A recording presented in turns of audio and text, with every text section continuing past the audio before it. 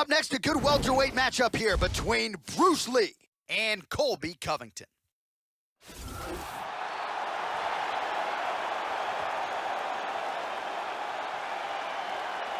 Our tale of the tape for this highly anticipated welterweight fight. Two years apart, these two fighters, with some differences in height, but the same reach. All right, you ready? You ready? All right, here we go. And he eats a kick. Just out of range with that right hand.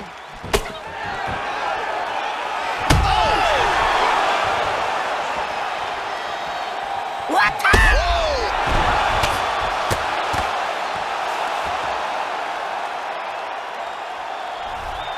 Beautiful knockout here early in the first. Yeah, we're just getting going, and now the fight's over, but excellent striking technique to land that shot and ultimately finish the fight here in the first. You've heard us say it before, but sometimes when you catch a guy cold before he's had a chance to get going in the fight, it can have a bigger effect. It certainly did here tonight. Let's take a look at that again. Check it out again. Boom! And then he's out.